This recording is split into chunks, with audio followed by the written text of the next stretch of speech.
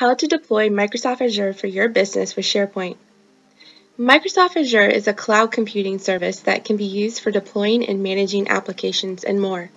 Quickly deploy and scale SharePoint. Improve your company's infrastructure for your SharePoint server in minutes. You can start to develop test farms or scale out your production SharePoint deployments by quickly adding more resources. How does deployment work? The first step is to connect your on-premise network to deploy SharePoint on Azure to build a network. Afterwards, extend your own network into Azure Network.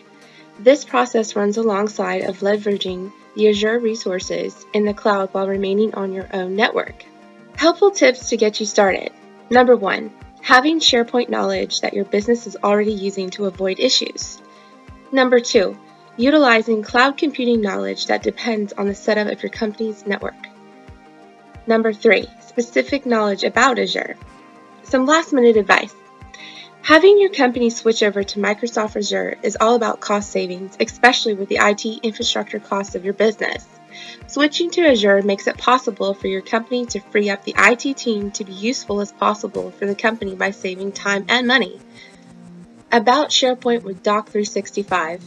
At Dock, we have over a decade of experience in SharePoint deployments where Microsoft partners with Gold Collaboration and Content plus Gold Application Development as certified experts. We can help your company with deploying your cloud migration and upgrades. If you're ready to move forward, send us an email at info at mydock365.com for more information.